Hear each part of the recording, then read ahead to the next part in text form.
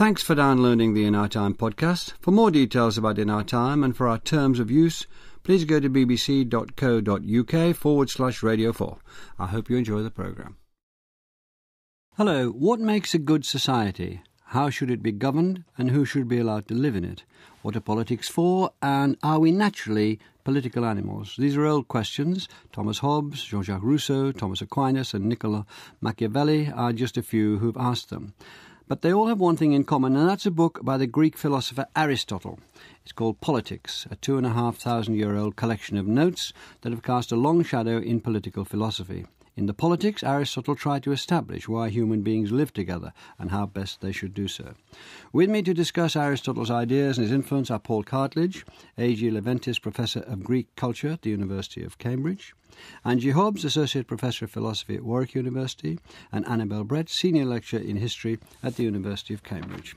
Angie Hobbs, the first thing Aristotle tries to establish is why human beings live together at all. Can you explain his answer? Yes, he says that man is naturally a political animal. And by that, he doesn't mean um, that we are geared by nature to go around putting political leaflets through uh, doors. He means that if we're going to flourish, if we're going to prosper, we need to actualize our naturally and distinctively human uh, faculties, particularly our intellectual and moral faculties but especially our moral faculties cannot be actualized outside the social context of a polis. So when he says that man, and the Greek word in fact means human, humans are naturally political animals, he means that we're the kind of animal naturally designed to live together in a polis, in a, in a community. And that's exactly yeah. Mm. in, a, in a city state. Um, and that's the context in which we can flourish. So the polis is there, is engineered to enable us to flourish. This classification is part of his method, isn't it? Can you elaborate that a little bit? The Aristotelian method of, of classifying species, classifying thoughts, classifying ideas. We were classified. Our species as as political because we fitted into this particular stratum. That's right. Aristotle trained as a biologist, um, and pre-Darwin, he believes that species are sort of eternally fixed and have uh, propensities and faculties that need to be actualized and exercised for all eternity. And yes, that the, he tries to discover what the human animal is like, what what we can do, what we need to do, what's going to enable us exactly. But the interesting thing really is why he thinks we are naturally inclined. He brings in the idea of nature. Can you elaborate on that? Do we naturally, we uh, as this particular species, uh, naturally go towards a polis state? We need to, do, we go to that. Uh, I've said enough. After you. Yes, well, he, he's entering a debate which was set up um, the, the, previous century by some uh, travelling philosophers called sophists, and sophists such as Antiphon said that there was a, a, big distinction between nature and culture, as they termed it, between nature or physis and culture, convention, law, or nomos. And according to Antiphon, uh, he says that um, humans are best served if we follow nature and not culture. That societies and conventions and laws are artificial, they're shackles, they're, they're kind of pin us down, they're fetters. And what we need to do is break free from all this and live according to nature. Aristotle enters into this debate and says, no, no, no, they've got it all wrong. There isn't this big divide between nature and culture. We are naturally designed to live in cultures. And they this this uh, dichotomy is a false one. So, was this argument going on? Can we imagine it going on in, as it were, in, in Athens at the time, in the schools, in the streets? Oh, we oh we know. Yes, I mean Aristotle is following Plato, who also picks up from Protagoras and Antiphon and other sophists. absolutely, yes. And Aristotle says, look, look at what a polis, a city state is. He says, look at its origins. It has two natural origins, two natural pairs of human association. One is the, the pair between male and female for the uh, purpose of procreation. The other is the pair between uh, master and slave for the purposes of mutual preservation. The, the polis uh, stems out of these two natural associations, which start off, they form a household. Households group together and spin off and form villages. Villages eventually group together and form the polis. So the polis, says Aristotle, is the natural end of these two earlier natural associations.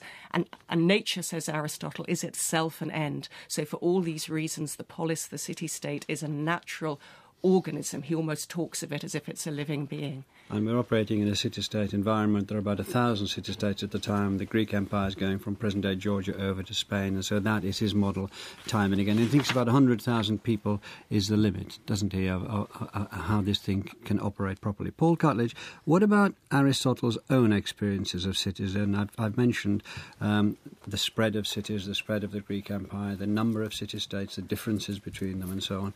Uh, and he, he, he, he, he himself was uh, brought up in a city state um, until he was 17, not Athens. Yeah, there's a paradox about uh, Aristotle because he spent most of his adult life in Athens and he could not, I think, have achieved what he did had he not.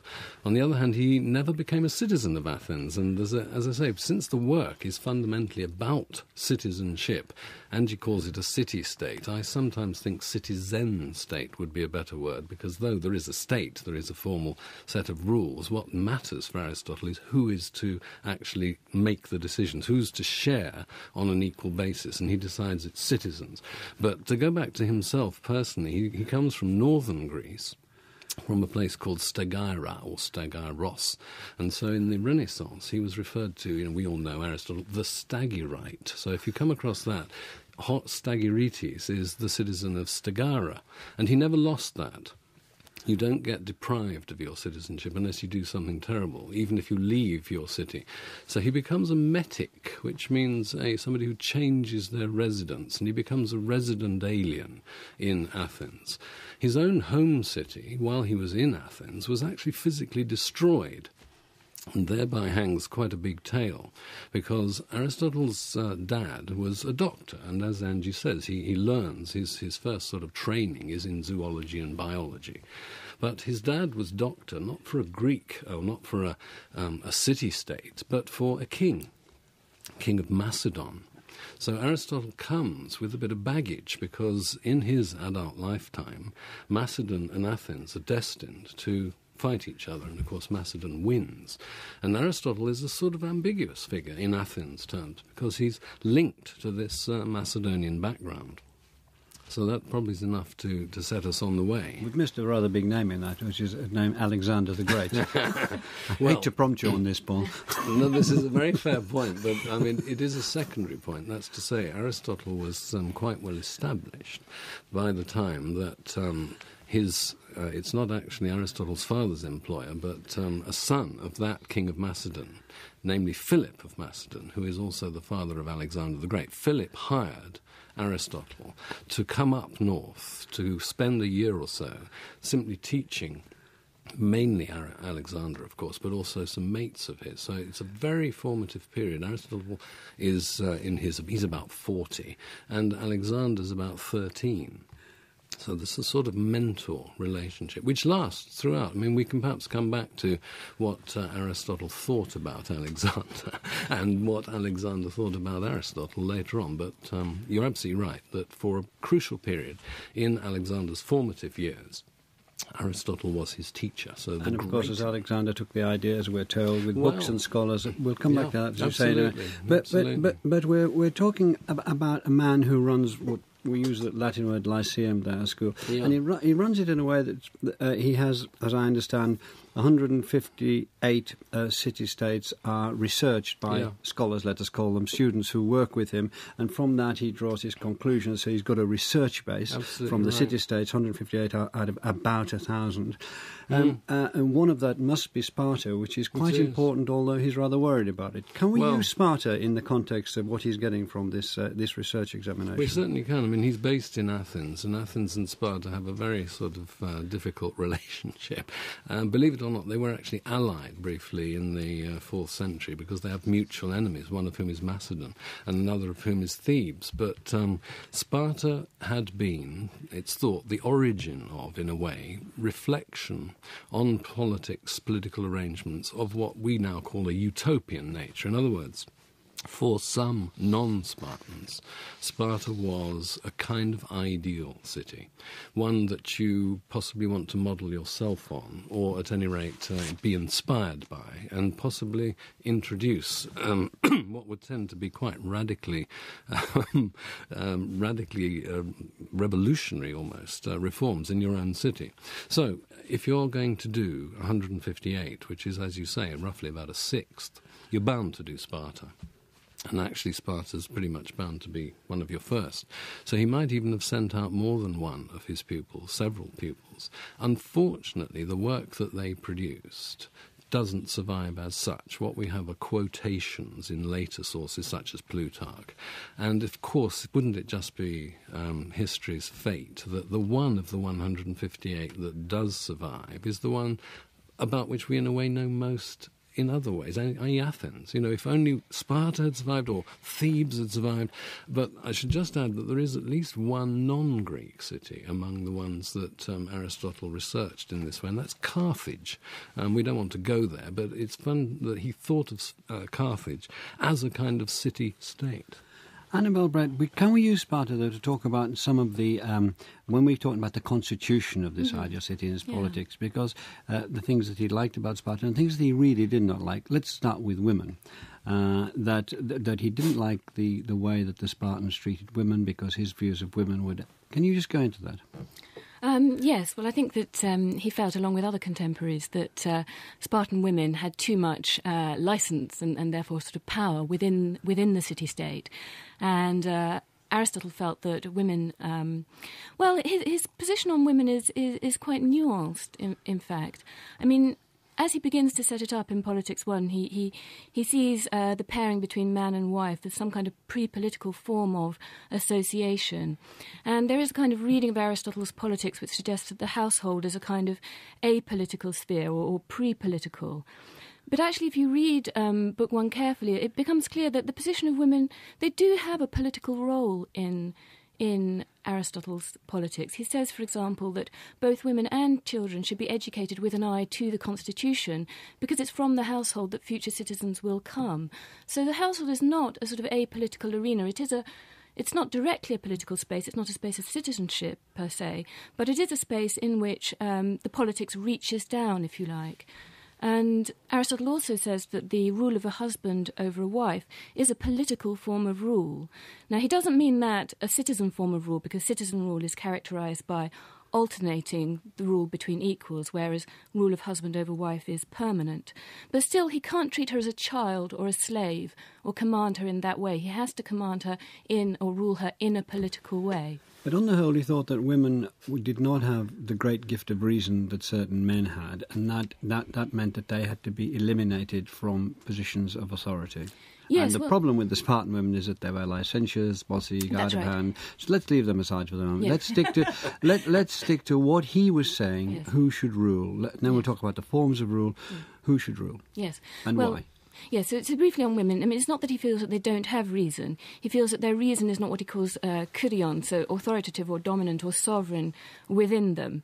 And it's for this reason that they like to be carried away by yeah. their passions. Um, and uh, and therefore they, they, can't really be in a ruling position. But it's not that they have no reason, mm. um, and this is why you can rule them politically. So yes, so um, Aristotle feels that citizenship should be limited to those who have this ruling, this reason, sort of reasoning faculty uh, dominant within within them, and that means adult males because children only have it in, in sort of potentially. But that doesn't mean that that might expect us, uh, lead us to expect that citizenship should be for all adult male heads of household. But that's actually not the case. Uh, it may be that in some constitutions citizenship is all free adult male heads of households, um, but in other constitutions it may not. So Aristotle tries to find a definition of citizenship which is, if you like, politically neutral. What understanding of citizenship can we think of which will cross both a democracy and an oligarchy or any other kind of constitution. Can I just And- come in? Sorry, I'm not to interrupt you. I just want to move on slightly. But we've got the women; they're out of ruling. Yes. So- Sorry to be appear to be rude here, but then we've got the slaves. A lot of slaves. Yes. Now there are different sorts of slaves, and he thinks. Uh, can you just give us uh, briefly the, the, his idea of slaves and why his particular idea of slaves and, and what their position was? Right. Because well, there are natural slaves, aren't there? As he yes, calls them. Yes. yes, that's right. Um, well, his main theoretical interest is in is in natural slaves. I mean, he uh, engages with the nature law debate with regard to slavery as well. Is it something that is by nature, or is it purely by convention or by law? And what Aristotle wants to establish is that there are something called slaves by nature. And these are people whom he sometimes seems to characterize as having no deliberative faculty at all, people who are not able actually to counsel themselves and therefore require to be directed by others. And he thinks that there are naturally such people um, who are, if you like, born to serve. Uh, and he makes them And find fulfilment in that, he seems to find. well, that's right. I mean, the slave cannot find happy. The natural slave cannot find happiness in the sense that the the master can, because the slave does not have this reason in the realization of which human ha- happiness and human flourishing consists.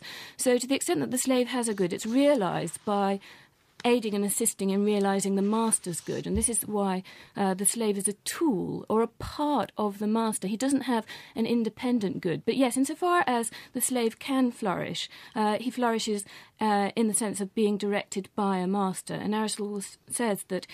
If these natural conditions between master and slave obtain, um, then there is a kind of friendship and, and mutual advantage going on in that in that sort of pairing. So by that process of elimination, Angie Hobbs, what we end up with is the persons who we're going to now discuss as, as ruling the place in different sorts of constitutions are male, uh, educated, free, which means to a certain uh, a certain extent wealthy. Uh, Right. And then Aristotle, again, in these marvellous classifications, comes in. He break, breaks down societies into three types, which you've endured amazingly, haven't they? They're monarchy, aristocracy, and polity. And in their corrupt forms, they're tyranny, oligarchy, and democracy. So, can you address that for a few moments? Yes, I mean, again, he's bringing in his biological taxonomical training here and all the researches that his uh, assistants have, have done on all the various constitutions that Paul was talking about. He says there are two basic questions you need to ask who rules and on whose behalf?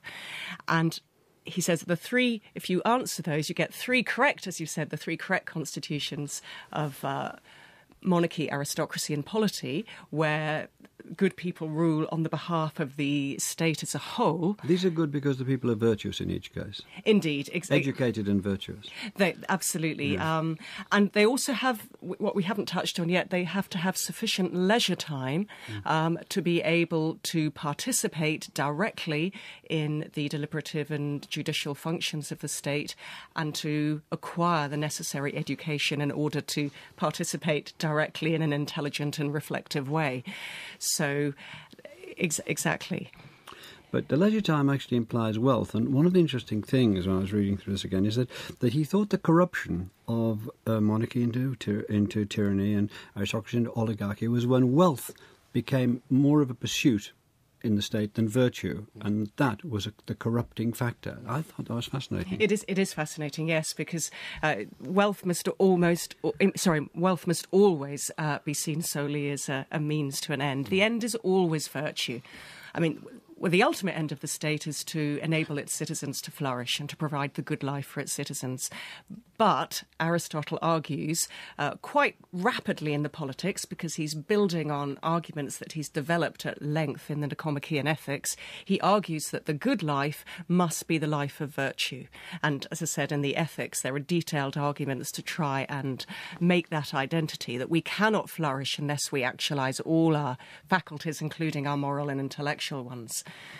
Given Paul Cartledge that, that Aristotle is perched in the sort of fons et origo of democracy there in Athens, democracy takes a bit of a beating, doesn't it? It does, but uh, Aristotle would say before you talk about democracy, let's talk about various kinds of democracy. This is his taxonomic self uh, operating again.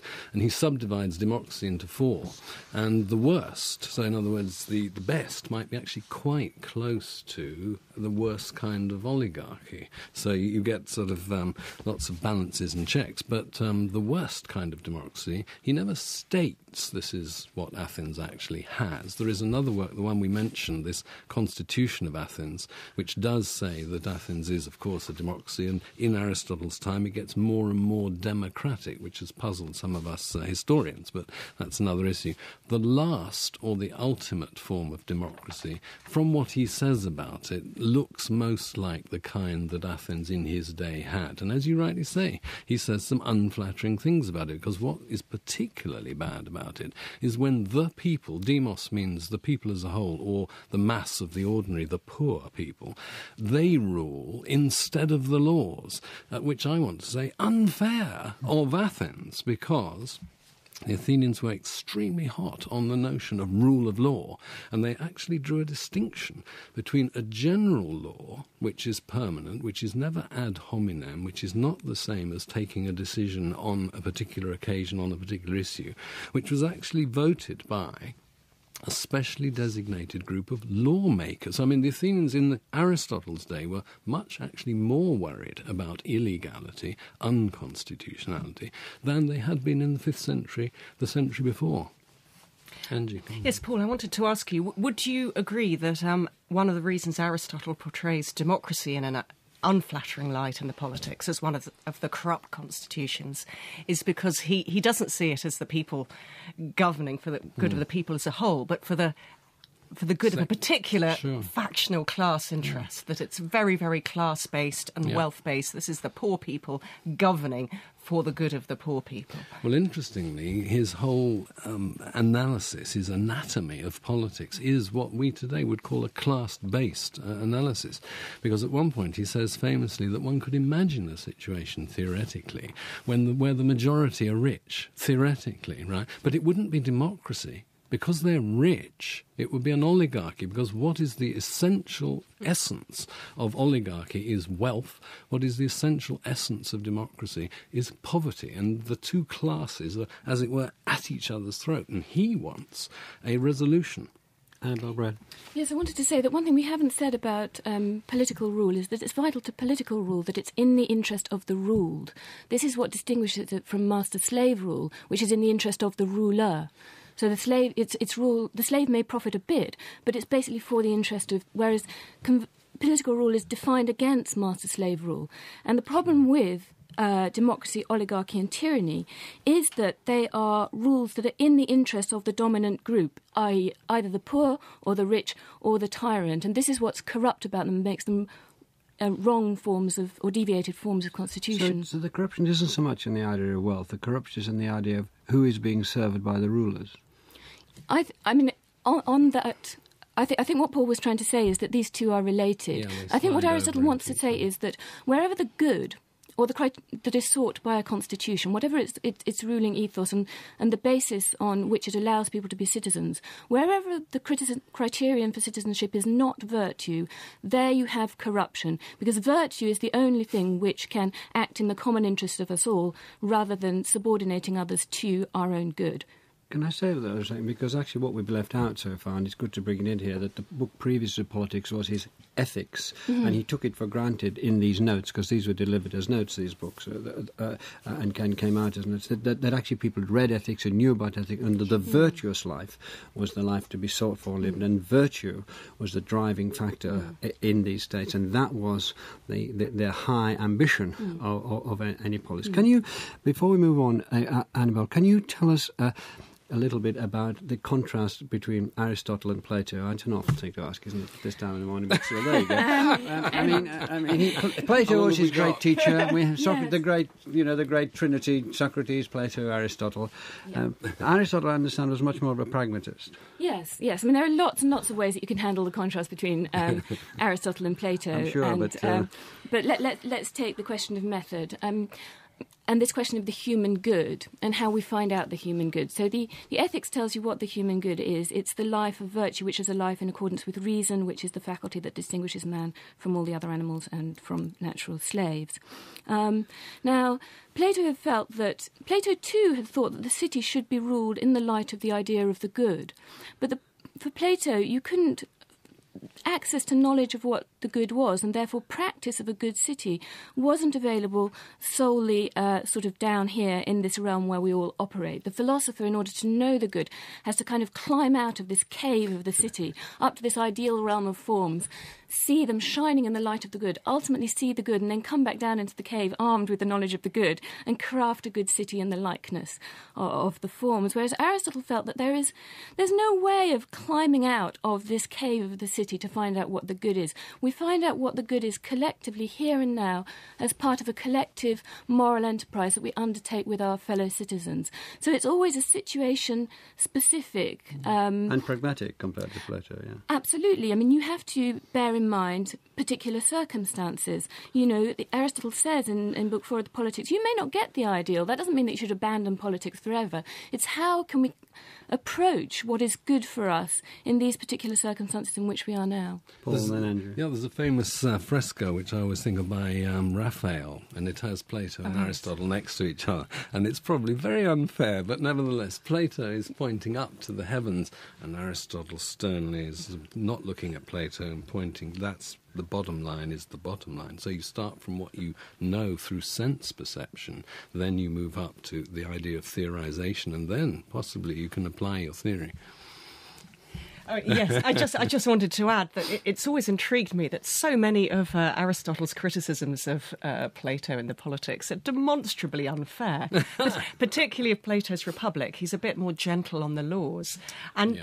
I've never worked out whether Aristotle just hasn't bothered to check his facts in the Republic, or whether he wasn't paying attention to Plato, or whether he's just deliberately. mean Aristotle pay attention at the back? Well, exactly, exactly, because for, for, for, that, well, for for instance, for instance, um, you know, Aristotle criticizes the community of wives and children of the two guardian classes in Plato's Republic, saying this is going to be a disaster. There's going to be unwitting patricide. There's going to be unwitting incest, and so on. Now, in fact, Plato had foreseen those problems and had tried to. to uh, counter them in the proposals that he made. And time and again, Aristotle does this. And one wonders if he's just doing what indeed Plato did with, with uh, political texts, which is just use them entirely for his own ends. And I should also add that uh, if, if um, anybody thinks that Aristotle is always the, the pragmatic, expedient, down to earth philosopher, they, they only need to go and read his metaphysics and his his work on the soul, and they'll We've see a much more uh, imaginative. Dealing with politics, Aristotle. yeah, I just want to say, I mean, I, I, I think that Aristotle though does say something very penetrating and really rather brilliant about Plato's Republic in, in Book Two of the Politics, which is that Plato's got the entire principle of the political wrong. For Plato, the ideal for the polis is to be as much one as possible, so it's unity unity. Whereas Aristotle says that unity destroys the polis. A polis is not about unity, it's about diversity in community. And this is precisely what constitutions are supposed to do to accommodate plurality and diversity uh, in a kind of constructive way if they're a good constitution. I was going to make a different uh, sort of point following on from Angie that uh, Aristotle is also interested in something like utopianism of two kinds. One is a pragmatic kind. What is the best possible, given what we know about humans in society, in politics? How can we get as close to that. And he has his own version of a practical, he thinks, version. But he also has, and in this sense, he is a pupil of Plato, um, he also has an ideal ideal, which is one goes beyond even what we've achieved so far to, and then one of the things he does, this is what prompted this thought, he is keen on communal institutions, uh, including common meals. He just thinks that, for example, the Spartans have got the wrong way of doing it, but nevertheless, the principle of actually eating together as a society. I mean, it's slightly impossible these days, but the notion is central to his notion of education. But I've leapt on there to the end of the politics. We've been looking so far at the first sort of third of the politics. There's then the middle section, which is all about this terrible strife, which I hinted at, and then he suggests how you can avoid strife or how you can heal strife. And then there's the final section on well, can utopia. We, can we dive into the, the section uh, into how we've got who runs it? Mm. The the free, educated, leisure available men. Uh, we've got the city state and we've got the master slave. We've got we know where the women are. We, we, we know that it's to do with the pursuit of virtue, which might yeah. seem impossibly high minded, but that's yeah. what it is to do with. Uh, and is uh, and is it over? Is it? And then we have to make it work. Obviously through laws. Now, can we talk about what, how he wanted it to work? With, Yeah. starting with you, Paul. Well, different sorts. Remember, I said different sorts of democracy, different sorts of um, oligarchy, and he does think that different societies have different tempers. So that whereas an extreme oligarchy might fit a particular society which has so many citizens and is on such and such terrain and has had such and such history, extreme democracy would fit another society, though he doesn't like either of those. I mean, what he likes is Aristotle being the philosopher of the, the golden mean, not too much of this and not too much of that. So, whatever he thinks is very, very good is going to form either a balance or a mixture, and both those concepts were around from the late 5th century on. That the ideal society, pragmatically, not, not theoretically, but pragmatically, is a bit of oligarchy, bit of democracy, bit of monarchy, or a bit of um, not oligarchy but aristocracy, to give it the nice uh, word. And uh, that's his notion of what he calls confusingly polity, which is the general word for citizenship. And so scholars, I mean, Angie will come in, Annabel, what exactly Aristotle meant by that is, is a really interesting question, I think. But that's his pragmatic, realizable best state. Angie, then. Yes, Angie. I mean, Paul. He, he always he always makes it clear, doesn't he, that were there a, a supremely virtuous individual ever to come Ah, along, yeah. or a supremely virtuous group Right, of right, individuals, then you could have a monarchy or an aristocracy which would be above the law. He says that quite clearly. Mm. But he says in the very likely absence of such a supremely virtuous individual or group, then we will need to go for polity. And the way he wants the polity to work in practice, isn't it, is by bringing in the middle class Mm. as much as possible. Who are neither very, very rich nor very, exactly, very poor. But yeah, exactly. And he, he he thinks that you're going to have a more stable society, which is going to um, get more general acceptance if you have a middle class, which again, not too rich or too poor. He wants there to be laws which limit excesses of wealth and poverty. He wants there to be state-controlled education, so everybody is Mm. educated for citizenship and people share practices and values And that was odd and radical. absolutely key. And But- he thinks that a middle class are, are going to be, he thinks they'll be more rational and he thinks they'll be less prone to faction, perhaps optimistically. Annabel Brett.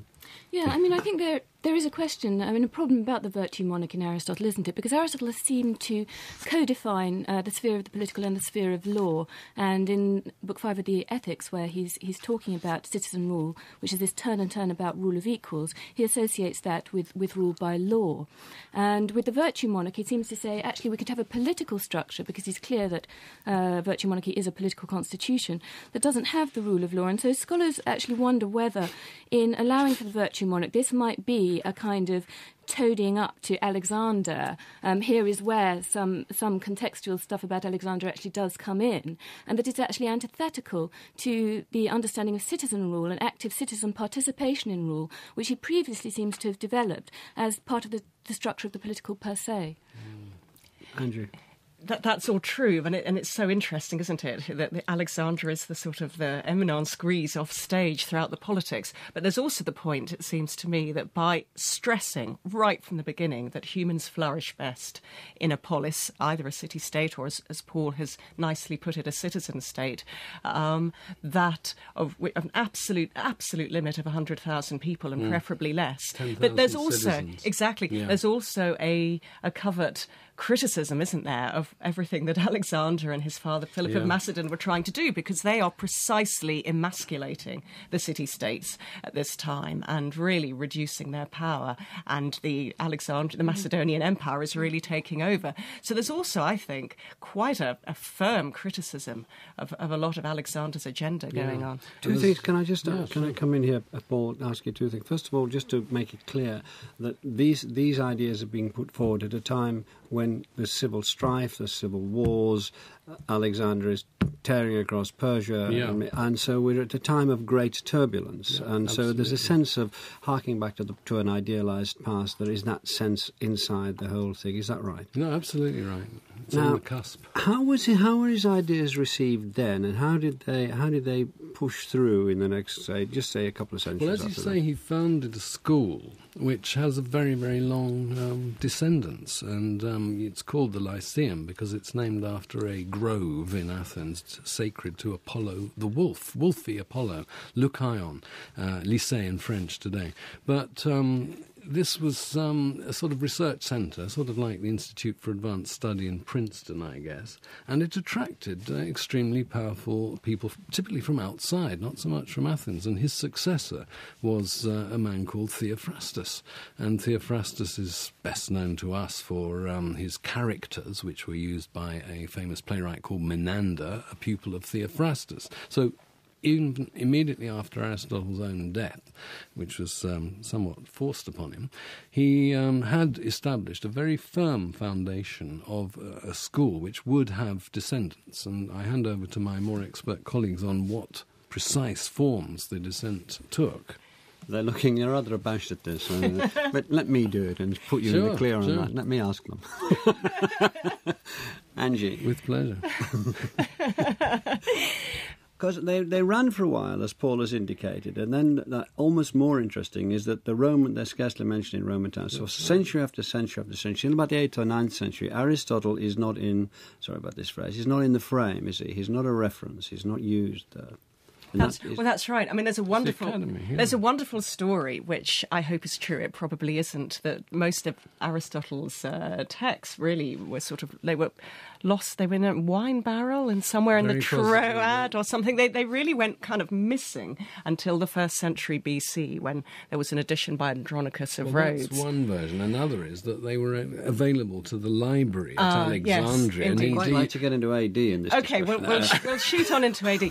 Yes, um, and uh, then we start by yes. It doesn't by- really. It doesn't really emerge. Sorry about this. This is crude, but this Yeah. is one of my jobs. It doesn't really emerge the eighth and ninth century in the great Arabic translation movement that turned hmm. from that they turned into Arabic, and then a couple of centuries later they're translated into Latin, and they reach Thomas Aquinas, the sort of pivotal uh, um, theologi- theologian but also philosopher of the early Middle Ages, Annabel, and he absorbs Aristotle. He somehow makes an equation between Aristotle, Aristotelianism, and Christianity, and from then on, Aristotle uh, is a, a great striding figure through the next centuries. Is that more or less right? Yeah, yeah, absolutely. I mean, so the, the, the politics is um, tra- tra- finally translated into Latin really just before Aquinas writes his major work, the Summa, with its uh, thesis of, of man governed by natural law. So what basically Aquinas does is to take this Aristotelian thesis of the good as the end, this teleology of the good, and implant it into a Christian framework of eschatology, a final end governed by God. And so what he does is to is to take this um, this idea that we're directed by reason and can direct ourselves by reason, um, and implant that into a universe which is di- directed by a rational God to its ultimate end. So he finds a space for the Aristotelian political within the Christian structure of a human life that goes beyond the political to our ultimate home, uh, which is with God. Um, so it's, it's because of this, this teleological sense that he finds in Aristotle, this movement towards the good, that the human city can have a place en route to our final good, which is, which is God. Do you, Paul Cartledge, did you see him as a, from then on, from the early Middle Ages into the Renaissance, as being a dominating figure, a, a figure, sorry, dominating figure in the history of philosophy? Well, yes and no. I mean, because also there's a Neoplatonic um, Yeah. tradition that's um, running alongside, and Aristotle's inheritance is, of course, Platonic. But um, this is an issue which um, surfaces again, more particularly in the Renaissance, which again I hand over to my um, expert colleagues on my left. Well, I mean, he certainly influenced Machiavelli, which might surprise us because Machiavelli is not uh, telling his uh, prince how to be virtuous, but he's telling him how to keep his Keep keep power. power, keep Yeah. power. But what's so interested Machiavelli, and we know this from his discourses on Livy, it's all the advice that Aristotle gives in uh, book uh, five and book six of, of the Politics on how to maintain power in constitutions and how to maintain the stability of constitutions. And Aristotle even gives the tyrant some advice on how to maintain power. Now, why Aristotle is doing this is for a different reason from, from Machiavelli. Aristotle, I think, is hoping to push the tyrant a little more in the direction of rational, virtuous kingship, and also maybe saying, if you know the tyrant's tactics, that's a good insurance policy against his ever emerging in your state. But Machiavelli sees all these rules for maintaining your power as a tyrant and thinks, wow, great. And so, and, and, and definitely takes some of those on. And then, of course, when, when we get to Thomas Hobbes, um, again, who's quite critical of Aristotle and the schoolmen in several ways, but uh, we get the whole debate about whether the the state is natural or not. And of course, Hobbes takes a very different line from Aristotle. Hobbes also thinks the state is wonderful, but not because it's natural, but precisely because it's unnatural and a cure for nature. Paul, can I ask you, do you think that the society as proposed by the good, the societies as proposed by Aristotle are in any way attractive or viable? Are we talking about authoritarian societies, really? Well, by our standards, all ancient Greek communities would have been thought unacceptably um, directive because they did have a notion of what the, the human and the social and the political good were, and they weren't afraid to enforce it through their laws. And partly the history of liberalism, that is the distinction between what a state which could have threatening powers over individuals, that division opens up from the Renaissance on, whereas the ancient Greeks tended to think that individuals were secondary, that no matter how powerful in a way, the community was more important. And therefore, that sort of um, dichotomy today of private virtue as opposed to public virtue was very much underemphasized and it was potentially uh, negative in antiquity. Today it's very positive. We should do our own thing up to a point. But one of Aristotle's criticisms of extreme democracy is that precisely in an extreme democracy, people do what they want. They live as they like. It's actually an unfair criticism, but nevertheless it implies the, the norm, which is that the community comes first and you must abide by its general rules. Because there were laws about everything. I mean, yeah. playing the flute was bad. Absolutely, there were laws about absolutely. what sort of sex you should yeah. have and when, yeah. uh, and so on and so forth. But I think it's really important to Aristotle's politics that he insists that being co citizens together is not simply a matter of mutually being under one law that protects us from injustices from each other. He says that's to make the state into what he calls a defensive alliance, mm. which maybe protects us from injustice but can't make us virtuous, isn't concerned with human flourishing. So um, I mean, I think what's what, what's interesting today is this very active notion of citizenship, citizenship that he has as participation in rule, and that mutual participation in political deliberation as part of our virtuous life and how part of how we find out what the human good is. So it's a much more active notion of citizenship. Angie. Well, and I'd like now. I'm, I'm, afraid I have to ask a final question. But do you, do you think can you see his influence in political philosophy or in states now? I'm afraid you've got yeah. 30 seconds. yes, all the all the discussion at the moment about training for citizenship. He thinks that we need to educate people to be citizens.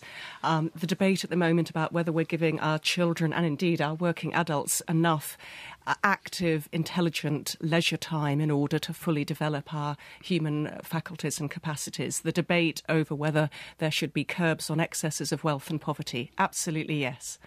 Well, thank you very much, Angie Hobbs, Annabel Brett, and Paul Cartledge. And next week we'll be talking about recent developments in neuroscience. Neuroscience, goodness me. Good morning. We hope you've enjoyed this Radio 4 podcast. You can find hundreds of other programmes about history, science, and philosophy at bbc.co.uk forward slash Radio 4.